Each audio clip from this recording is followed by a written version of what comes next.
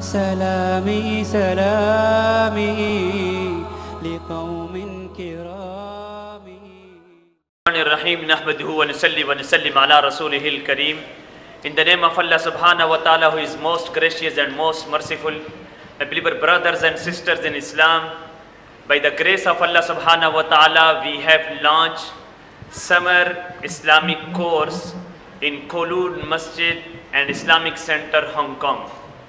We are teaching our kids, our young generation about basic Islamic education, such Aqidah Khatm Nabuwat, Aqidah Tawheed, biography of Holy Beloved Prophet Sallallahu Alaihi Wasallam, Tajweed pronunciation practice, 40 ahadith, and many other Islamic knowledge and Islamic education.